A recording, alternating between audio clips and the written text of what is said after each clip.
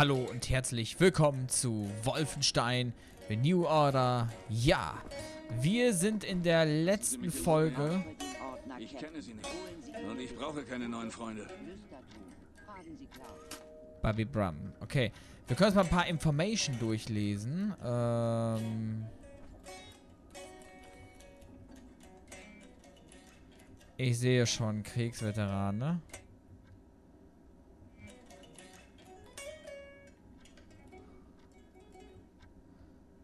Regime crossed the Atlantic.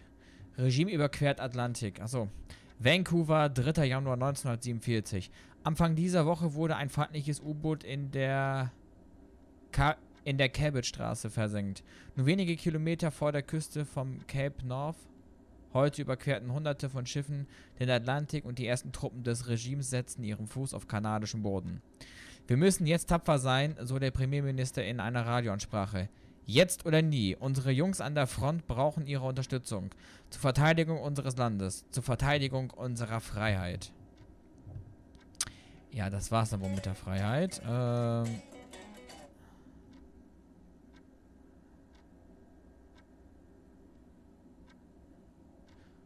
Royal Air Force geschlagen, aber nicht besiegt. Liverpool, 15. Juni. Die Royal Air Force musste gestern ihren Kampf um Liverpool eine schwere Niederlage hinnehmen.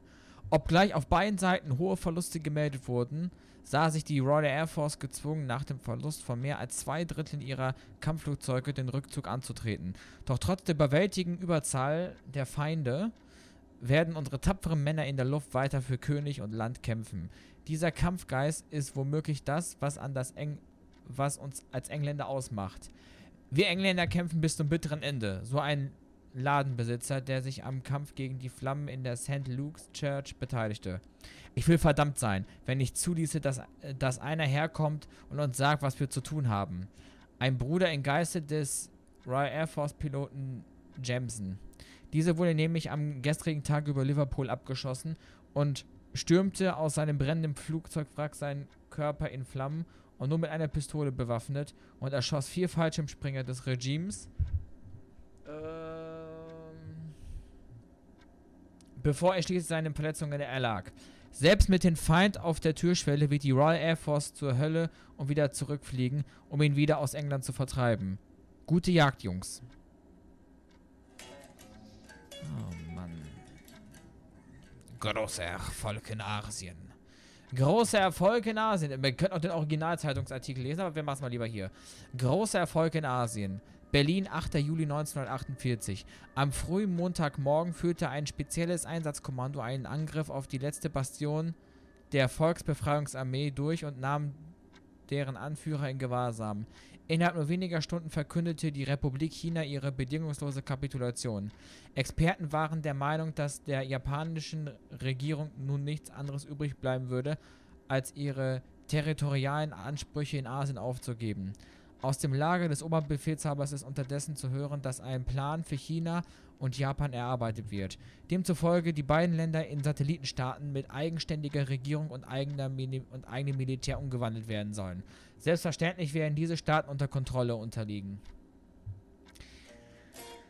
Sind Sie äh, Bin beschäftigt. Hauen Sie ja, ab. Alter, ich lese mir das doch hier nur durch. Die Roten kapitulieren. Ah, das wird die Sowjetunion sein. Äh, die Roten kapitulieren. Moskau, 12. Dezember 1946. Der harte russische Winter schlägt mit eiskalter Wucht zu. Doch davon ist auf den rosigen, lachenden Gesichtern unserer siegreichen Truppen aus des und des russischen Volkes nicht zu sehen. Das letzte Gefecht gegen die russische Armee fand in Izviesk statt, nachdem diese monatelang versucht hatten, die russische Hauptstadt zurückzuerobern. Ein Unterfangen, das nach zahlreichen Rückschlägen und Hunderten von Opfern unter der Zivilbevölkerung schließlich das Volk gegen sein eigenes Militär aufbrachte. Doch die nächtlichen Bombenangriffe auf die Rüstungsfabriken im Ural war es nur eine Frage der Zeit, bis die Moral der russischen Streitkräfte gebrochen war. Der mörderische der mörderische russische Tyrann konnte indessen noch nicht gefunden werden. Doch es gibt Gerüchte, dass er von seinen eigenen Gefolgsleuten ermordet wurde. Ja, kurzer Nebenfakt, es ist tatsächlich so, ähm, dass während des Zweiten Weltkrieges, und jetzt mache ich wieder meine Geschichtsskills raus, dass ähm, das wirklich ein dass man da wirklich sagen kann, dass das ein Fehlverhalten von Stalin war, weil er tatsächlich ähm, Hitler vertraut hat, dass er ihn nicht angreifen würde. Und äh, es gibt da unzählige Berichte, dass Stalin ähm, sich immer in seinem Büro im Kreml eingeschlossen hat, mit, mit Wodka in der Hand und als dann in irgendeiner Szene, als dann die Generäle kam, um halt ähm, Anweisungen von ihm halt zu bekommen, hat er sie einfach nur angeguckt und einfach nur gesagt, wollen sie mich jetzt verhaften. Als hätte er erwartet, dass sie ihn jetzt stürzen oder dass es da einen Putsch geben würde. Ah, interessant, wie man da gewisse Theorien einfach aufgreift. Das ist ja so eine Alternativ-Story, Wolfenstein. Was passiert wäre, wenn die Nazis ja den Krieg gewonnen hätten. So. Triumph im Osten, Berlin, 4. April 1947. Es war ein schwerer Schlag für die russische Armee, als unsere Flagge heute Morgen am Westufer der Wolga gehisst wurde. In einer Stellungnahme gegenüber, Russi über, gegenüber unserem Reporter vor Ort sagte Oberbefehlshaber Friedrich Ritter, dass der Sieg nicht nur der harten Arbeit und Opferbereitschaft der Armee zu verdanken sei, sondern auch einer neuen Waffe, die zum ersten Mal im Kampf eingesetzt wurde. Der Panzerhund ist eine mechanische, selbstständig handelnde Kriegsmaschine, die weder Angst verspürt noch Mitleid zeigt. Er ist eine reizende er ist eine reine Todesmaschine und wird die Gegner in Stücke reißen. Ja, der Panzerhund. Ah, dieser verdammten Wichser, ey.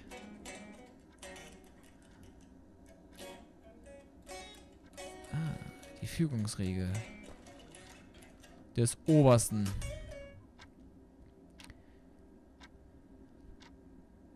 Die britische Tyrannei hat ein Ende. London, 21. Juni 1948. Im Schein der aufgehenden Sonne wehte an diesem Morgen unsere Flagge über den Buckingham Palace und markierte das Ende einer tyrannischen Monarchie, die das britische Volk über viele Jahrhunderte in eisernem Griff gefangen hielt. Der für die Invasion Großbritanniens verantwortliche Oberbefehlshaber, Gerolf Feigenbaum, was für ein aber sehr deutsch gehalten, gab zu bedenken, dass zwar mit bewaffnetem Widerstand zu rechnen sei, aber die Mehrheit der britischen Bevölkerung schon bald erkennen würde, wie sie von den Kriegstreibern ihrer Regierung zum Narren gehalten wurden. Nach der Kapitulation fällt das gesamte Commonwealth nun unter unserer Kontrolle und die noch bestehenden Armeen haben den Auflösungsbefehl erhalten.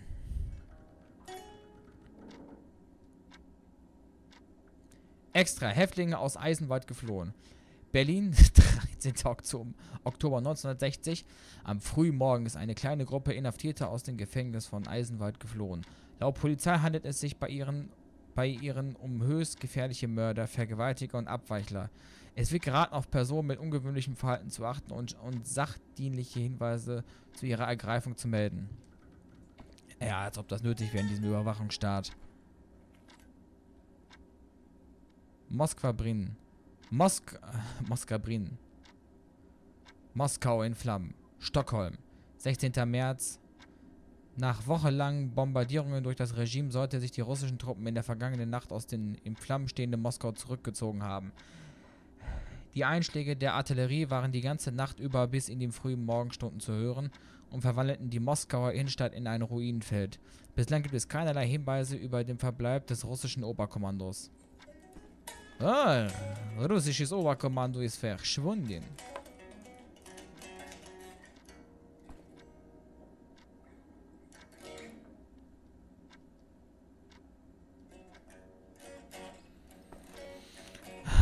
Diese Schweinehunde. Ich hasse Nazis.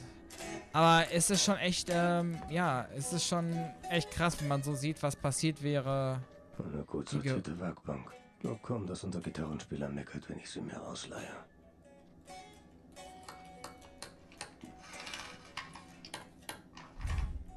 Was machen wir da jetzt? Weil ich habe jetzt gut 10 Minuten nur irgendwas vorgelesen.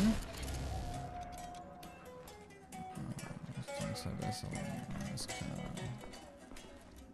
Warum auch nicht? Ähm wir gucken uns ja aber mal eben kurz um. Verschlossen.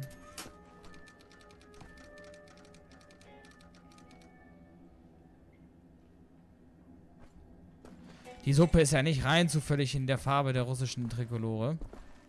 Also der, der Nationalfahne. Dieses weiß-blau-rot. Verschlossen. Alles verschlossen. Okay, dann gehen wir jetzt mal zu Klaus. Klausi Mausi. Oha.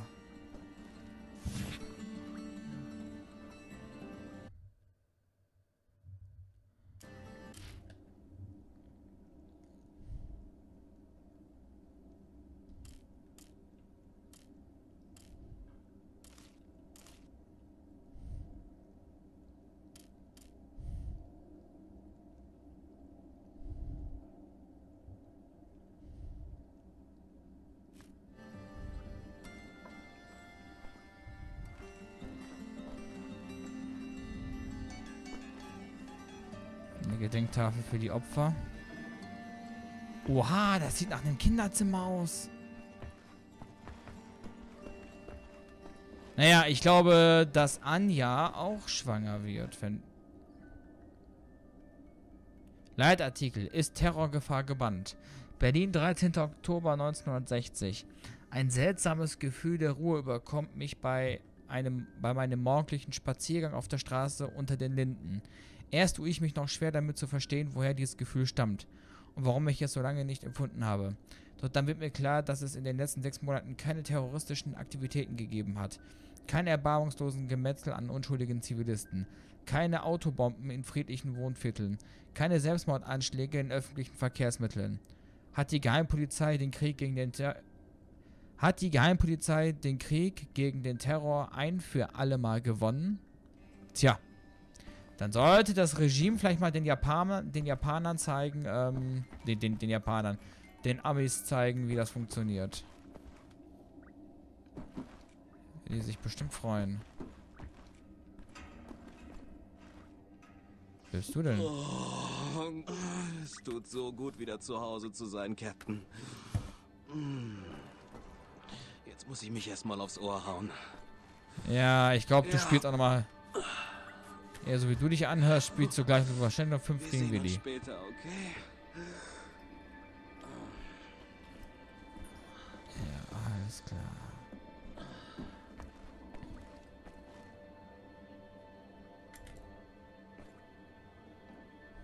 Klaus Kreuz, Max Hass.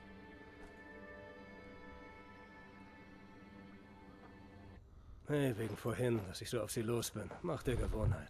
Keine Sorge, Johnny Cowboy, ist mir nicht zum ersten Mal passiert. Sie sollten sich besser die Tätowierungen entfernen lassen. Das werde ich, irgendwann. Ich war, wie man so schön sagt, auf dem Holzweg, als ich sie mir stechen ließ, ja. Und leider war ich damals unheimlich stolz auf mich.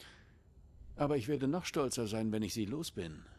Kein Regime mehr, keine Tätowierung. Solange Sie mir im Kampf gegen das Regime nicht im Weg stehen, ist alles bestens. Caroline sucht einen Aktenordner, Projekt Flüsterton. Beruhige dich, Junge. Max hier spricht nicht viel, aber er weiß über Projekt Flüsterton Bescheid. Eine riskante Operation und er weiß, dass es uns einiges kosten wird. Max mag keine Gewalt und er will nicht, dass jemand verletzt wird. Alles in Ordnung, mein Sohn. Wir werden für dich kämpfen. Caroline meinte, Sie hätten den Ordner. Haben Sie ihn hier? Das war vor zwei Tagen, aber ich habe ihn zurückgebracht. Gehen Sie ins Erdgeschoss. Der Ordner müsste in der Schreibtischschublade in Ihrem Zimmer sein, wo ich ihn gelassen habe.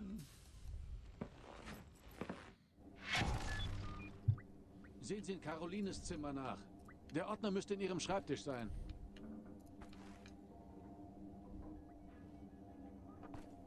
Sein Sohn.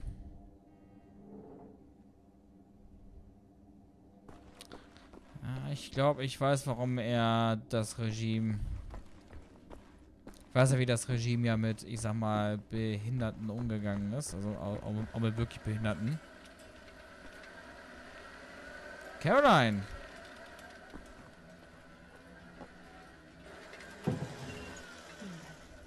Hey, da ist er nicht. Hab schon nachgesehen. Ach ja, und eins noch. Bitte sprechen Sie nicht über Projekt Flüsterton, wenn Max in der Nähe ist. Er hat uns darüber sprechen und es regt ihn unheimlich auf.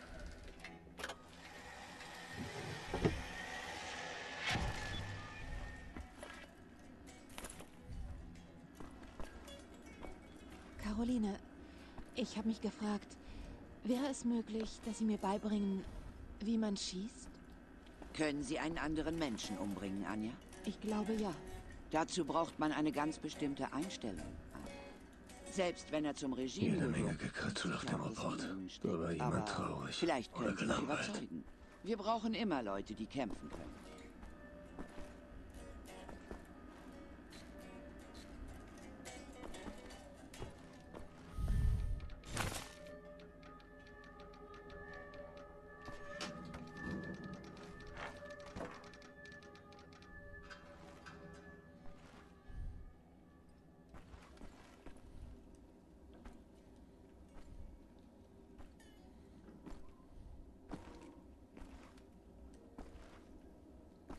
Ja, wie sollst du das denn hier finden? Mal ganz ehrlich. Spielzeug. Was macht das in Carolines Zimmer?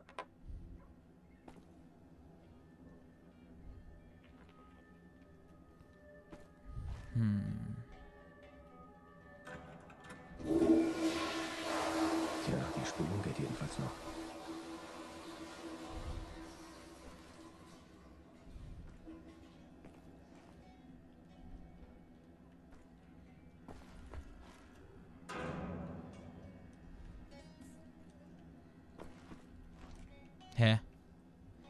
Ja, wo soll er denn, denn, denn sein, dieser Scheißplan?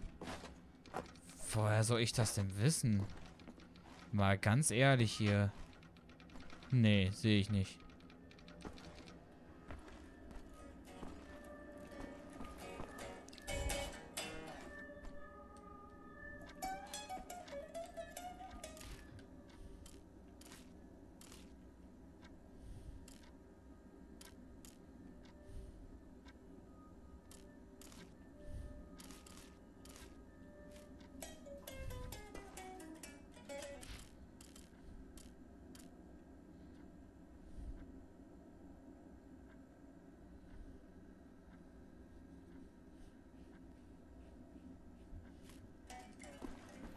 Nach Hinweisen.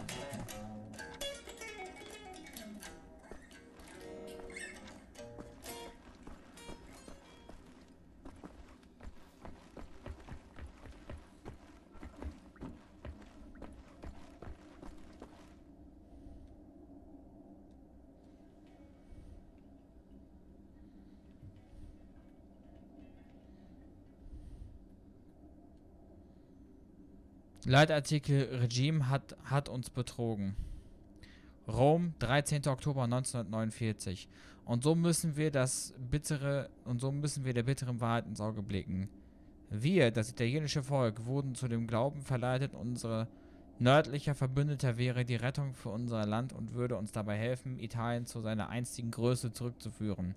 Berichten aus dem Norden zufolge sollten sich nun Panzer und Soldaten des Regimes gegen unsere Truppen gewandt haben und unser Volk angreifen.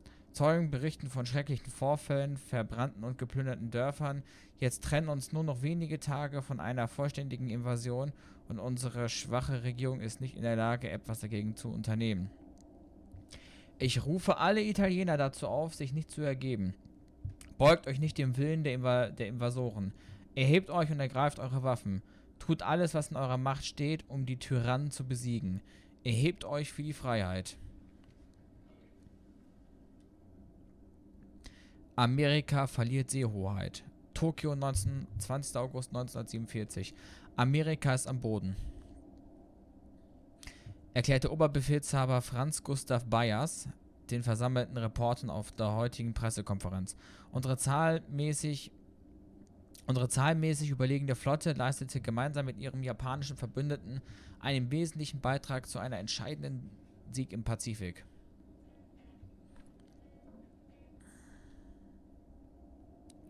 Befreiung Amerikas hat begonnen. Washington, 7. Januar 1949. Die Friedenstruppen begaben sich diese Woche auf eine Siegestour durch ganz Amerika. Der Ziel dieser Operation ist die Befreiung des unterdrückten amerikanischen Volkes und dessen Schutz gegen aufführerische Elemente. Alle verbliebenen Mitglieder der amerikanischen Streitkräfte werden aufgefordert, sich zu stellen und beim nächstgelegenen Kontrollpunkt zu melden. Dort erhalten sie eine, eine Arbeitserlaubnis, mit der sie für den Wiederaufbau des Landes nach dem neuen Vorbild eingeteilt werden. Was für eine Propaganda, dass dann alle Länder so von Tyrannen halt belagert wurden. Befreier bewachen Chinas Grenze. Shanghai, 25. Oktober 1953. Mithilfe ihrer Ingenieure die wurde die chinesische Mauer von, unserer von unseren gütigen Besatzern verstärkt und ausgebaut. Entlang der Mauer wurden hunderte von mächtigen automatischen Flugabwehrgeschützen installiert, die ab sofort den Luftraum gegen jegliche mö mögliche Eindringlinge aus den mongolischen Territorien verteidigen. Elitetruppen wurden auf der Mauer stationiert, um die Grenze zu bewachen. Eine großzügige Geste unserer gütigen Besatzer von großem symbolischen Wert, die eine neue Ära des Friedens in Asien einläuten wird. Ah, ist klar. Amerika erhebt sich aus der Asche. Im Schatten der platzförmigen Wolke, die durch die schreckliche Atombombe des Regimes auf New York entstand, beginnt sich der amerikanische Geist zu erheben.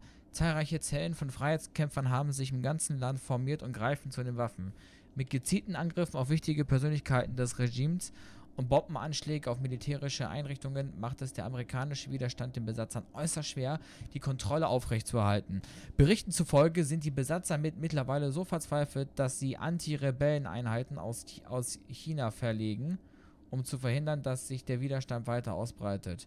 Augenzeugen berichten von Massenhinrichtungen von Zivilisten als Vergeltung für Angriffe der Freiheitskämpfer. Alles klar, da schürt ihr auch nicht rein, zufällig noch mehr Hass. Okay, der Ober will doch gar nicht.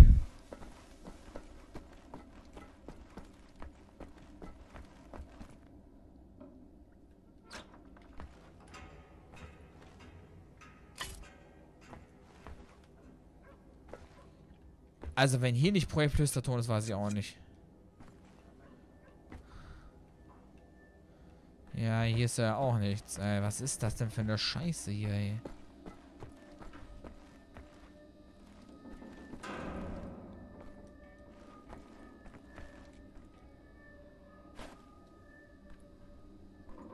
Rein zufällig weiß das, dass das eine Szene aus einem älteren Wolfenstein-Spiel ist.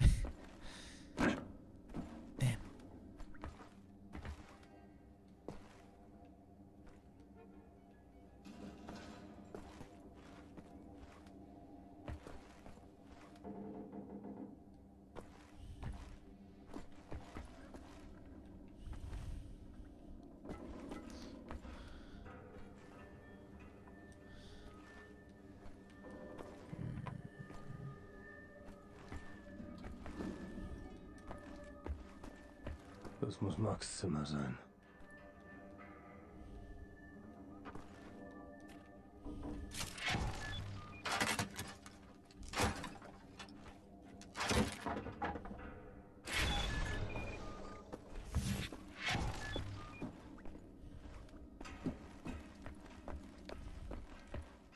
Aus Prinzip jetzt einfach zu Max und mit ihm darüber reden. So, damit haben wir das Ende dieser Folge auch erreicht. Ja, wir haben jetzt im Prinzip eigentlich nur uns ein paar Informationen durchgelesen, wie der Krieg zu Ende gegangen ist und das Regime sich die Welt nach ihrem Weltbild quasi aufgebaut hat. Dann haben wir diesen scheiß Plan gesucht, diesen ne, Operation Flüsterton den wir jetzt gefunden haben. Und ich denke mal, in der nächsten Folge werden wir dann mit der Caroline und dem Rest des Widerstands wohl ähm, den Operationsplan bes besprechen. Und dann denke ich mal, wenn die nächsten Folge sich um den Op wenn sich die nächsten Folge um die Operation Flüsterton drehen. Da bin ich auf jeden Fall mal gespannt, was wir da zu tun haben. In dem Sinne würde ich sagen, bis zum nächsten Mal. Vielen Dank fürs Zuschauen. Bis denne Antenne und ciao mit au.